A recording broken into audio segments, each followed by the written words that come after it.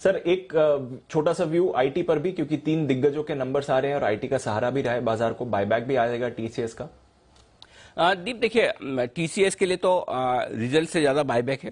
Result अच्छे आए और बायबैक ठीक ठाक है तो भी बढ़िया है। रिज़ल्ट खराब आए और बायबैक का सपोर्ट है तो ज़्यादा गिरेगा नहीं।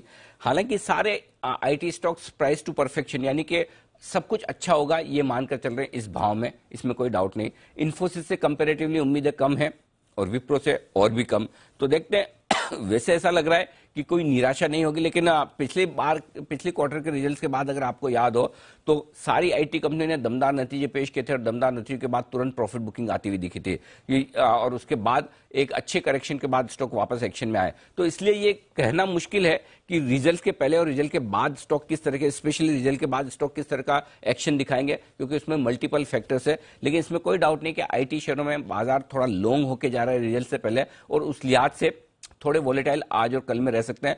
आपको अगर रिज़ल्ट के लिहाज से ट्रेड करना है तो अपनी पोजीशन को हेज रखना ज़रूरी है। और अगर रिज़ल्ट के पहले अच्छा मुनाफा होता है पार्शियली बुक करें, पचास परसेंट, पचहत्तर परसेंट अपनी प्रॉफिट बुक करके उतनी ही रिस्क रखें कि अगर अच्छे रिज़ल्ट के बाद, नहीं तो क्या होगा? फिर कल आपको यह समझना मुश्किल होगा कि ऐसा तो नहीं कि रिज़ल्ट के बाद अचानक से अच्छे नतीजे के बाद प्रॉफिट बुकिंग आ गई। दूसरी चीज़ ये भी हो सकती है, पिछले क्वार्टर के विपरीत, इस बार रिज़ल्ट के बाद स्टॉक भाग जाए। यू नेवर नो तो रिज़ल्ट को ट्रेड करना थोड़ा सा ट्रिकी है फंडामेंटली कहीं कोई दिक्कत वाली बात नहीं है, न टीसीएस में है और न ही इन्फोसिस में।